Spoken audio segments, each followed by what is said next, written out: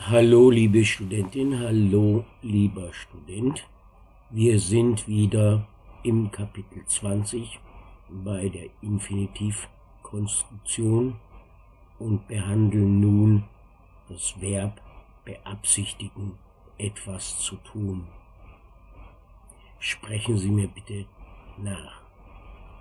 Er beabsichtigt, ein Auslandsstudium aufzunehmen. Ja, er will ein Auslandsstudium aufnehmen. Er beabsichtigt, ein Auslandsstudio aufzunehmen. Vergessen Sie nicht das Komma vor dem erweiterten Infinitiv. Nummer eins: Er will in den USA Medizin studieren.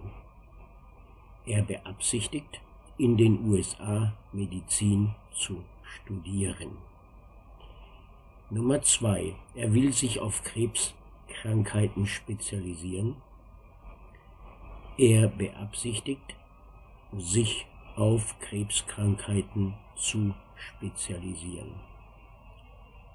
Nummer drei: Sie will bei den Ärzten ohne Grenzen mitarbeiten.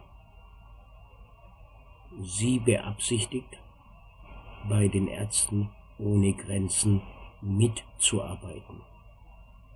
Nummer vier: Sie will zwei Jahre in Afrika praktizieren. Sie beabsichtigt, zwei Jahre in Afrika zu praktizieren. Nummer 5. Mein Freund will Zahnmediziner werden. Mein Freund beabsichtigt, Zahnmediziner zu werden. Nummer 6. Meine Tochter will sich in der Altenpflege engagieren. Meine Tochter beabsichtigt, sich in der Altenpflege zu engagieren. Und Nummer sieben, meine Frau will ehrenamtlich im Sozialdienst mitarbeiten. Meine Frau beabsichtigt, ehrenamtlich im Sozialdienst mitzuarbeiten. Ich sage Ihnen Tschüss, bis zur nächsten Übung.